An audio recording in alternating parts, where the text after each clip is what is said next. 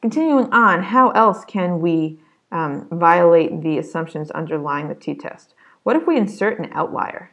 Right? What if we insert an outlier? And that violates the assumption because this outlier makes this whole distribution non-normal. Right now it's normal plus an outlier.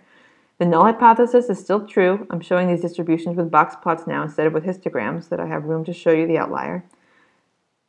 The variances are the same. Sample sizes are approximately the same. They're both normal except for that one point.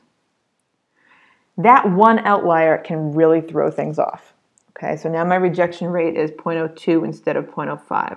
This histogram is supposed to look uniform, and it doesn't.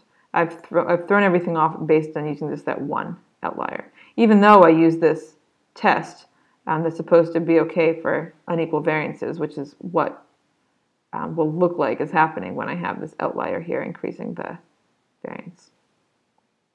What can I do about that? Well, what procedure do we know of that's robust to outliers? We have the rank sum. And here I've written down the rank sum with its normal approximation reference distribution. This is the mean and the variance that we'd get um, for the rank sum if we use the normal approximation for the reference. And now everything's fine. The rank sum works perfectly fine in the presence of outliers. No problem at all. So when you have an outlier, t-tests are going to be really sensitive. Don't leave your outliers in and then do t-tests.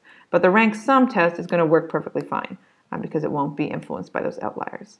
Where do outliers come from? If you have an outlier, the first thing you should do is go see if it's a typo or a mistake because sometimes you can get rid of it that way. Sometimes there's a mistake such as the wrong population. I'm trying to measure the heights of women and a man got in there. Um, and so this person actually shouldn't be there and I can remove him. When you have outliers, you're looking for excuses to take them away, but you do need an excuse. You can't just decide to take it away. Or sometimes it's just a heavy tail. Um, we're looking at how long people live until um, they die from a particular disease, and some people just live a really long time. In this last case, you can't throw them away, but doing something like taking the log of every value may help those values look a little bit less like outliers.